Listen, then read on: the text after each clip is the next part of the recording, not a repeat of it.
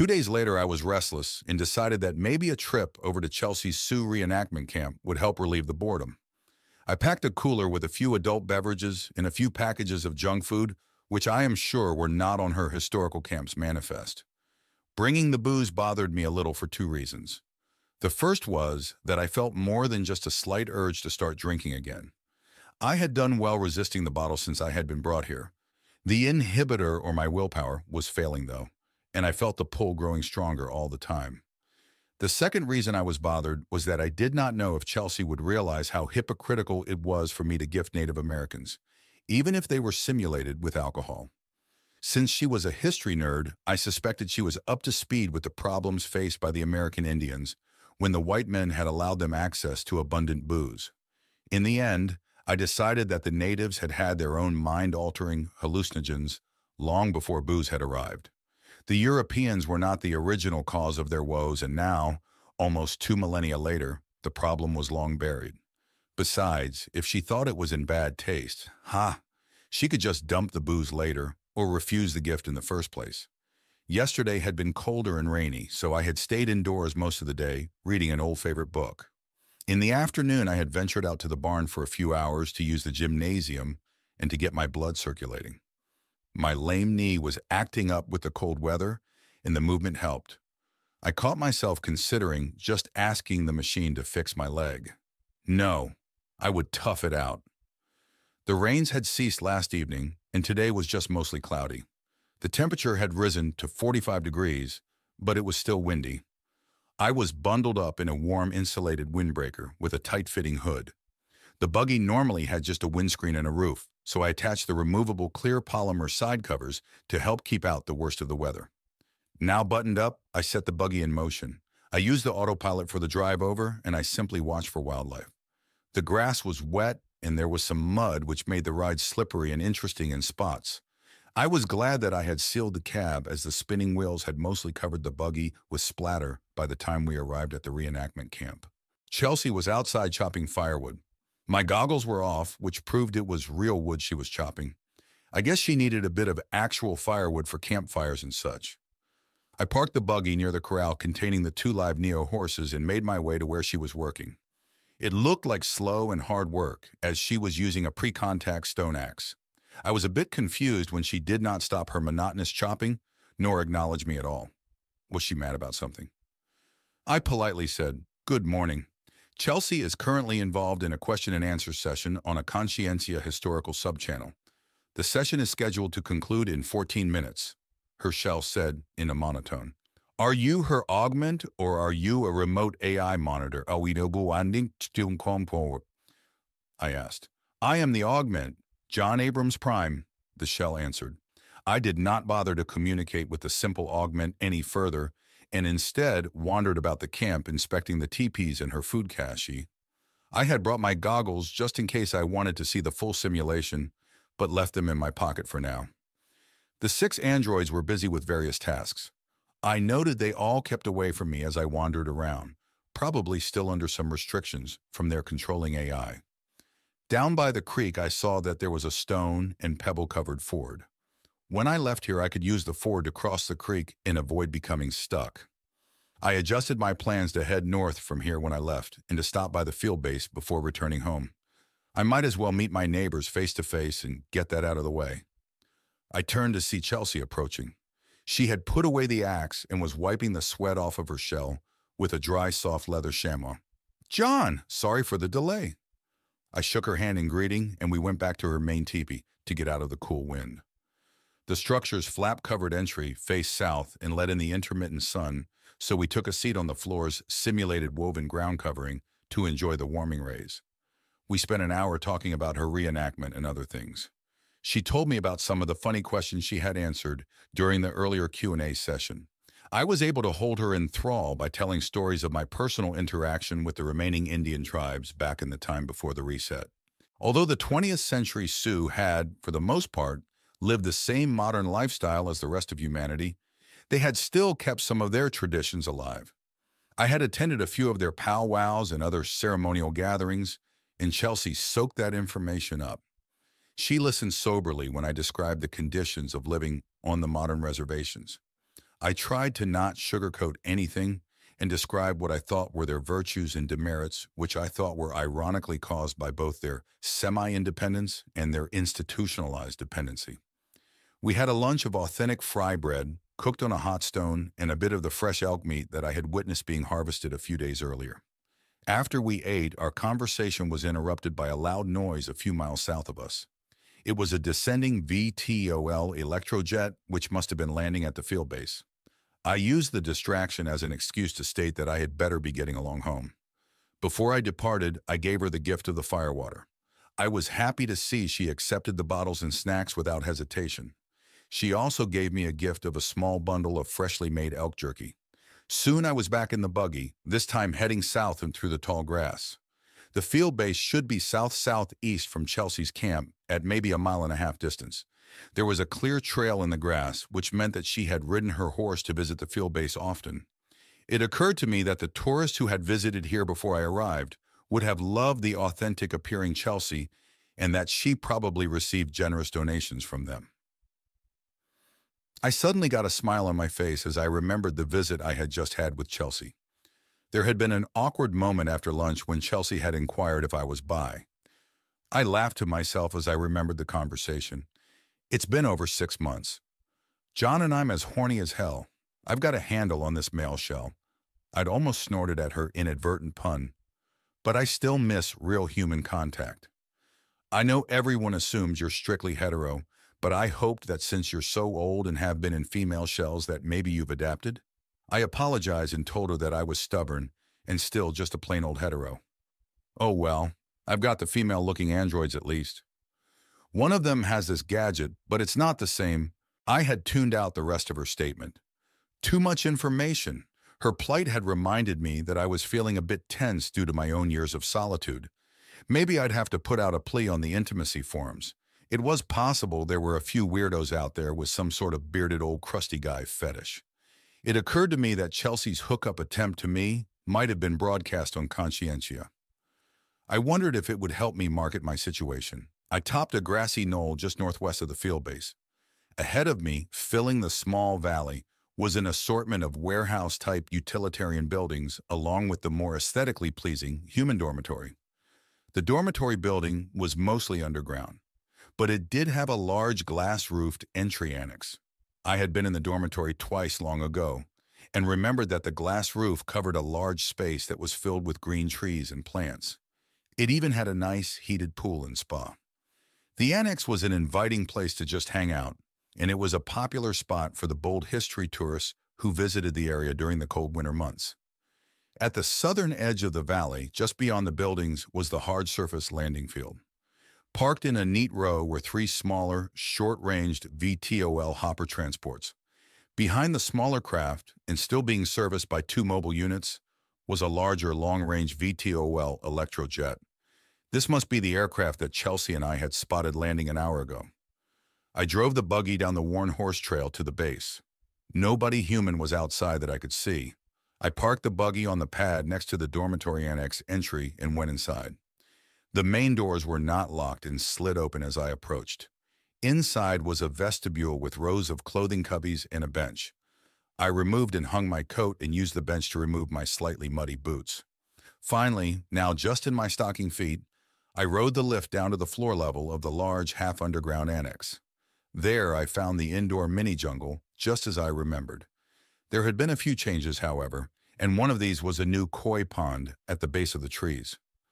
I paused for a moment to observe the many exotically colored fish. I also spotted turtles and other aquatic critters hanging out in the pond. Off to one side of the annex was a pool enclosure, and on the other side was the lounge area. All the comfortable lounging couches and chairs around the annex were empty, which confirmed my suspicion that the base had been cleared of tourists because of my sudden visit. I heard noises, including laughter coming from the far end of the annex, and went to investigate. Just past the mini jungle, I spotted a small group of humans. There were four of them, and they were seated at a round table by the food preparation and bar area.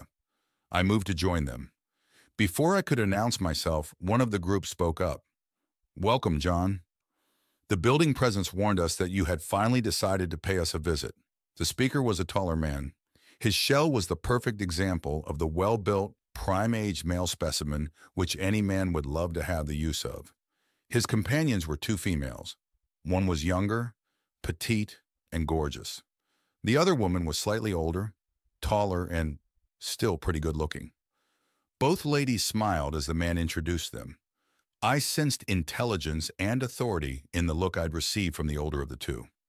I slowed to a stop as I recognized the fourth member of the party.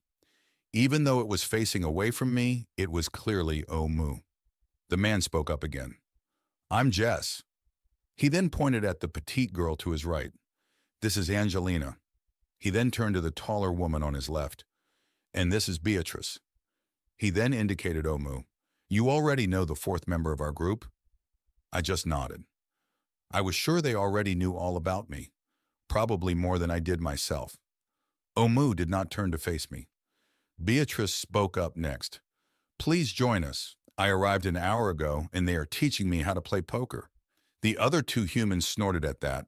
I was a bit surprised to find them playing old-fashioned cards and not immersed in some sort of virtuality, or other modern pursuit. They must have just finished a hand as all the blank cards were laying in a toss pile. I also saw that next to each player, the interactive table surface was showing an indication of their current scut values. I was relieved that the number displayed was just three digits. It looked to be a low-stakes game. I debated whether I should take a seat or bolt. It had been a long time since I played poker. Still, this would be awkward. Oh, Omu was here after all. I don't know. I said with a bit of hesitation. My shell does not have smart irises. I hoped that my excuse did not sound as lame to them as it did to me. Since the playing cards they were using were completely blank, unless you wore enhancement goggles or your shell possessed smart irises, you could not see the card's face values. If you had either, then you saw the face value as an overlay on the surface of the blank physical cards. The technology simplified shuffling as the values were simply randomly changed between hands. It also eliminated any peeking, as only the holder could see the face values until the card was played. It also eliminated accidentally flipped cards, and finally, best of all, it kept the card sharks and deck packers from being able to cheat. Not a problem. There's a pair of generic overlay glasses on the shelf right there, Angelina said, pointing behind the bar. I was stuck. I found the glasses and slipped them on. Instantly, the cards in the toss pile took on color and detail, and I could make out the face values on the ones that had been flipped over on purpose. Also, the scut amounts displayed on the table's surface were now fully rendered as stacks of various colored chips. I took a seat between Beatrice and Jess. This put Omu and Angelina on the opposite sides. As I glanced at the buxom android, our eyes met. I will leave if you wish it, John, Omu stated quietly. I did not answer right away. After a long pause, which probably had the other three humans squirming in their chairs, I answered, No, it's okay, Omu. You can stay. I glanced at the other, now relived humans. What's the stakes? I asked.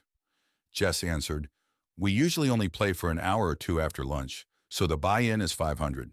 Bet limits are five to help prevent anyone from being felted too early before the hour is up. How long have you played so far? I asked. They looked at each other before Angelina said that they had started when Beatrice had arrived, maybe 45 minutes ago. Good, that meant that we would probably only play a dozen more hands. I was not worried about losing scuts as I had racked up plenty when I had been employed as a history teacher and guide. I also had a scut account in my name that held the yearly stipend which the new humans had granted me over a century ago. But I hadn't checked it after the first few years. It had not been much, and I had not needed it at the time so I mostly forgot about it to let it grow on its own. They might have even appropriated it all back by now for all I knew. Still, I did not have my smartwatch, nor did I have any smart coins. Could I even get to my money right now? Um, Omu, you still have access to my scut, right? I asked somewhat sheepishly. No, John, but Naomi does. Shall I request that presence transfer 500 standard caloric units to your table counter? Please, I answered, she did, and my stack appeared. I noticed my S500 stack was still smaller than Beatrice's, who had the largest at the table. Teaching her to play indeed. Omu's stack was pretty large also. Um, I hate to be that guy, but is playing with Omu fair?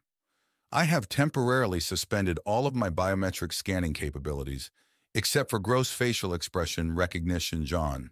If you can keep your poker face intact, I won't kick your biological ass, the little android replied. I smiled despite myself. I realized that I had missed its snark. We all anteed up, and the cards were dealt. I came up with a pair of kings, which winked and grinned back at me confidently. Although I felt excitement, I managed to hold in my smile as I tossed in a S5 bet. After the game, I joined the humans for coffee and tea. The game had been more enjoyable than I had expected. Even better, I had managed to hold my own and book a profit of S20. Jess and Omu had finished with slight losses each, while Beatrice left the game up nearly 300. The big loser had been Angelina, but she just smiled and said that she would have no trouble earning the lost scuts back. While we had played, we had also talked. I had managed to learn what each of them specialized in and why they were here. Angelina was a highly rated touch therapist. She was in her mid-30s and had been doing therapy for almost 20 years.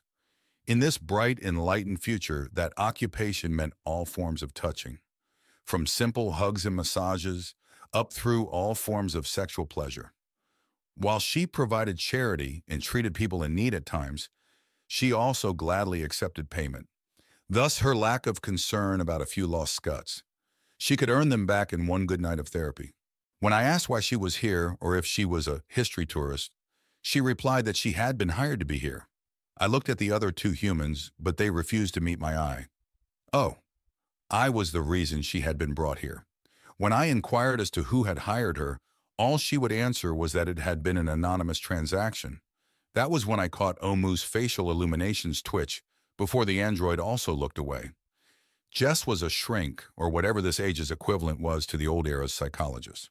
Since medical AIs handled most biological physical ailments, he was not a true psychiatrist and did not prescribe drugs. But he did work to perfect his art. Without formal degrees or official colleges, it was more like the master craftsman of old. Reputation was earned by being successful. Merit and recommendations buoyed his reliability and reputation and allowed him to make a profession of treating mental issues and suffering. Our new civilization had become something of a meritocracy, and as a libertarian-leaning old grump, I could not be happier. Let the people be free. Let them learn and do what they want. If they did well, let them succeed and be paid. If they did not, let them fail and be forced to try something different. With everyone interconnected, individual abilities, successes, and failures were easily quantifiable and disseminated. Buyer beware became the accepted practice as it was all too easy to be aware. And having the AIs around to serve as impartial mediators and judges, civil disputes were settled accurately, fairly, and quickly. So far, we had been successful in preventing the endless bureaucracies from forming in this era, and I prayed that they never would take hold. In addition to his abilities as a shrink, I learned that the Eudaimonia AI had urged and supported Jess's coming here to hopefully help me with my issues. I was intrigued that the major AI presence in charge of overseeing all human development and societal growth had any interest in my personal mental health. Did I really need to have Jess treat me? I thought back to my recent breakdown. It was likely I did need some form of help. Jess was already here, so I might as well see what he could do. I asked him when he wanted to get together to talk, and he surprised me by saying that he wanted to wait a few days to let me settle down first. Beatrice was the mystery girl. She was a scientist who had been living on a lunar Farside station. Her arrival earlier today meant that she must have taken a torch to get from the moon to here as quickly as she did. She revealed that she had been pressured to come here by the Minervus AI, with additional urging from Praxia the AI responsible for planning humanity's retribution attack. Again, I was intrigued, to say the least. Two more major AI systems were interested in me enough to convince someone to drop what they were doing and to come all this way in such an expedited fashion. Both AIs should have been focused on matters far beyond one old human misfit on Earth.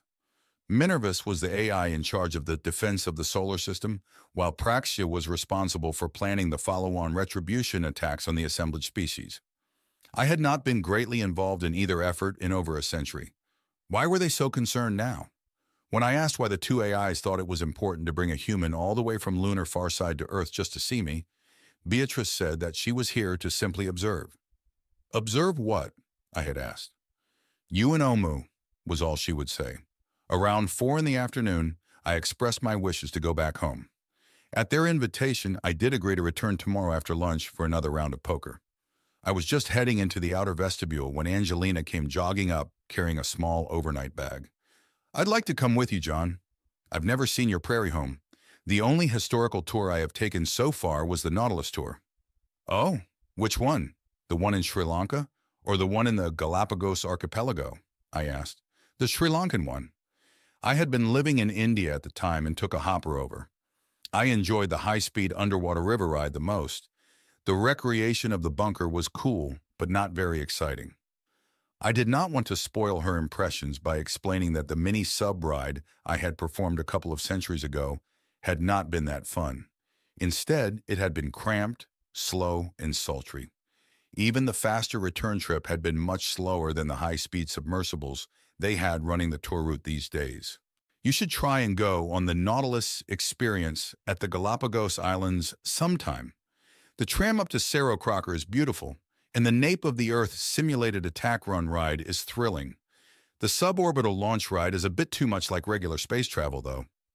I'd skip that, unless you have not been to space, I said. We got in the buggy and I set its autopilot to return us to my compound. Angelina was in the passenger seat looking like a big snowman in her white insulated and hooded parka. I had not resisted her self-invitation. After all, she had been hired to come here just for this, and I had to admit, I was as horny as hell. Although I did get plenty of tension-relieving sexual relief that night, what was more important overall was that I had felt intimate human contact again after such a long drought. After I had given Angelina a quick tour of my house and barn, we'd enjoyed a pleasant supper. Later, she had given me a long, full-body massage on the floor of the living room. When she had worked my tired and worn body down to pudding, she had finished by simply lying on my back and hugging me. I wept for at least 10 minutes straight. Then she had led me to the bathroom and helped remove all the massage oil with a hot shower. Her petite shell was perfection. Curves in all the right places, but also very muscular. Despite her small stature, she was incredibly strong and had the powerful hands of someone who did massages for a living. It even appeared that my shell's old age and abused condition did not repulse her at all. Oh, I've treated a few with older shells than yours, John. Some people fear to be renewed as they also face substantial mental adjustments, she had replied when I'd asked. Their mental states are usually worse to deal with than their older shells, though. I understood what she was referring to. Our new human society offered, if not exactly immortality, at least the potential for a very, very long life. The requirements being that if you wanted that long life, you had to be a net positive to the future prospects of the overall society. Some people were not exactly a positive influence, and rejuvenating them was conditional. While we did not have the severely deranged and violent criminals of the past, there were still some who fell towards the bottom of the human bell curve. The current policy was that if these people wanted their lives extended by rejuvenation, then they would need to be fully mind data scanned and face whatever mental adjustments were needed to bring them to a more positive place personality-wise. Despite the fact that the mental review and adjustment was overseen by a jury of eudaimonia's sub-presences, and that those findings were then reviewed by a panel of randomly selected peers of live humans, some people still feared going through the process. The old shells which Angelina had referred to were those people, old and now due for a renewal, but who also feared the mental changes coming. Thus, the new era included old bitter dregs just like the old era had. Those dregs sometimes had needs, and if they had the scuts, and some touch therapist was willing to deal with them, the dregs got treated too. Angelina had had experience with them, apparently. I figured that I would be a piece of cake to deal with in comparison. Oh, in case you were wondering if any of those dregs were so fearful or stubborn that they held out against being mind-altered until they died? Of course. Humans needed to be free, some bitterly clung to their freedom until the very end. No human or AI would step in against their wishes to rejuvenate them. They had the right to be who they were if they wanted. I knew all too well how they felt and was more sympathetic to their views now than I had ever been before. The next morning, Angelina did additional therapy on me. Less massage this time and more. Good old-fashioned hugging and touching. A morning round of sexual relief was included, and I was a happy and sated man. We'd also managed to have breakfast and get ourselves cleaned up. Towards noon, both of us headed back over to the field base. She invited me along to join the group for dinner, which was always a generous buffet with dozens of options. The buffet had many times the food needed for just us four humans, but when the leftovers could easily be reduced and stored as biomatter to be used again, the practice was not very wasteful at all. As I took my place in the chow line, I saw right away that we had a new member of the group, a male who looked to be a young teenager. Back at the table, Jess introduced me to the new person. John, this is my son Kyle. His class just finished a week-long survival training trip in the Bighorn Mountains west of here. I arranged to have the autobus drop him off on their way back to the Caribbean Learning Complex. The young man stood up to shake my hand. I was impressed with his manners. Nice to meet you, Kyle, I said. How long will you be staying here? Just a day or two, sir. Dad says I can use one of the hoppers to get to the autobus depot a few hundred kilometers east of here. I thought for a moment, that location would probably be the genetics school that existed over in southern old Minnesota. They would have daily school bus traffic coming and going to many places across the continent. Well, I hope you enjoy your stay here, Kyle, I said. Jess spoke up. Actually, I wanted to ask a favor, John. I have a long session of virtual therapy scheduled for this afternoon after our card game. While I am busy, would you be able to take Kyle over to the Native reenactment camp? I had mentioned it to him this morning, and he would like to experience it in person. I had no problem with that and said so. It was a better prospect than showing the kid my house and barn. Our card game after lunch was enjoyable. Omu sat out and allowed Kyle to take its place. The kid was smart, but took too many chances. I smiled when I saw him cringe each time he lost a hand and had to fork over more scuts. At his age, without the skills and knowledge of an adult to fall back on, working off scut debt could mean anything from hard simple labor to sexual favors. Of course, the latter option was only if he'd already passed his BM test. Chelsea seemed happy when we reached her camp. She was going to the lake to do some spear fishing and agreed to take the kid along. I passed on waiting around in the cold lake water. I then lucked out because instead of having to wait around for their return, Chelsea offered to return Kyle back to his father after they were done fishing by using her spare Neo horse. Hearing that he would get to go fishing and then horseback riding had the kid grinning. I wished them luck and headed back to my compound, this time via the northern route. I watched them walk off towards the lake for a moment before I drove home. I wondered if the young lad was open to Chelsea's needs. Most teens were bisexual these days, but not all. Omu was waiting on my porch when I returned to the house after parking the buggy in the barn. John, I have brought you some human-grown produce which had been delivered to the field base an hour ago. It is in the refrigeration unit. Thanks, Omu. I... I didn't know what to say. You are welcome. I will return to the field base now. The short android turned to leave the porch. Oh, Moo. Wait. I paused as I tried to figure out what I wanted to say. I'm, I'm trying, okay? I finally managed to say. I understand, John. Do not trouble yourself or feel any obligations. Like time, hope is infinite. With those profound words, the android walked away. I watched as it left. It started jogging down my drive and then kicked up the speed once it hit the paved road. Soon it was over the hill and gone, halfway to the field base in less than half a minute. Daddy! Daddy! Daddy! I woke drenched in sweat. The nightmare had returned. I'd long since stopped having the damn dream with any regularity, so the emotions it dredged up hit me hard. I got out of bed and went into the bathroom to wipe down my face and upper body.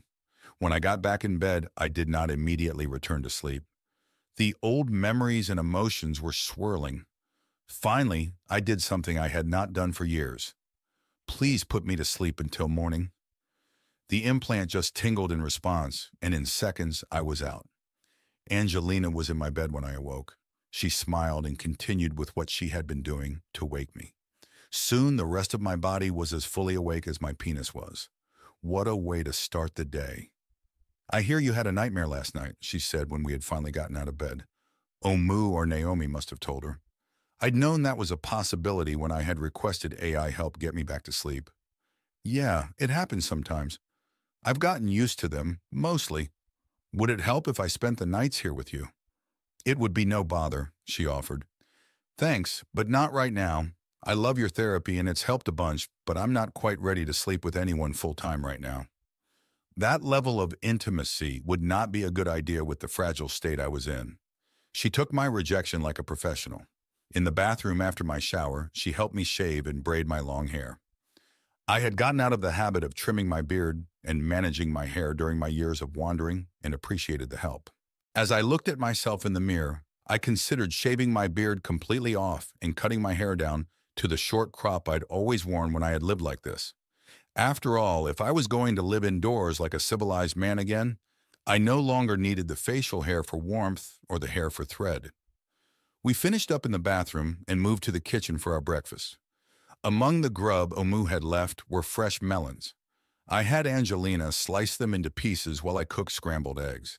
We had just finished eating when my display wall lit up with an incoming message. I wondered who had the authority to get through my com filters. Good morning, John, Jess said after his face appeared on the display. His eyes tracked over to where Angelina was sitting, and he said good morning to her too. It made sense that Jess could get through my screen. The spam filter AI would have known I was seeing him daily and would have allowed him through. He continued, A situation has developed which needs my personal attention. I have to take the Electrojet and fly to the Forbin complex this morning. The trip will take an hour each way, and I expect to be at the facility for about the same. I'm inviting you along if you'd like to come. I would have you back sometime this afternoon and we could talk on the way. The outing would do you good. I looked at Angelina and asked, Who is invited? Angelina gave me a quick headshake. Well, anyone, I guess. Beatrice is also coming along, he answered. That sounds fine. Sure, I'll come. Angelina declines, though. Good. See you on the landing pad in 15? Sure, I'll be there, I said before cutting the vid. Thanks. That sounded kind of dull, Angelina said with a look of relief. No problem. What are you going to do while I am gone? Oh, there won't be enough for a poker game. The weather looks too cold and windy to do anything outside. I'll probably just hang out in the pool or maybe spend a few hours browsing Conscientia, she said. Um, if you don't mind a bit of extra work, I'd like for you to help out a friend of mine. I explained what I had in mind. She said that she had no problem going on a short buggy ride after dropping me off. I wanted her to visit Chelsea's camp for a few hours. She was a touch therapist after all, and Chelsea certainly needed a good touching. Even better was that she said she was on retainer for her full-time here, so there would be no additional charge. We made it to the base's landing pad in time to catch Jess giving his son a goodbye hug and sending him off in one of the small hopper VTOLs. Beatrice was waiting near the open hatch of the larger Electrojet. I saw that she was wearing a lightweight thermal shirt. It was powered and would keep her warm in the cold, but would still be comfortable indoors later. Angelina dropped me off, and instead of waiting with Beatrice by the Electrojet, I walked over and joined Jess as he stood there watching Kyle fly away. I saw that his eyes were shining and said, It never stops being bittersweet, even when they get older. He just nodded and took a deep breath. After the small hopper had flown out of sight to the east, we turned and walked over to the waiting Electrojet. Beatrice had already gone aboard, and I now saw Omu waiting by the stairs. I let Jess enter first and followed him in, giving the android a polite nod as I passed. The unit followed behind us and sealed the hatch. The Electrojet was clearly not a dual-purpose cargo model, as inside I found a VIP cabin layout appointed with luxurious seating for up to a dozen. Beatrice was already seated on the port side at the middle cluster of four seats. The seats in that group were the only ones with their automatic seat restraints open and waiting, and I realized that since we were a small group, it made sense to seat us all near the VTOL aircraft's center of gravity. The two forward seats in the cluster could swivel and were currently facing forward for takeoff acceleration. Jess chose the forward seat and I the rear. Beatrice was across the aisle beside me, leaving Omu sitting beside Jess. As Omu seated itself, it offered to get us refreshments once we were at altitude and stable. I asked for a mug of coffee while the others wanted tea,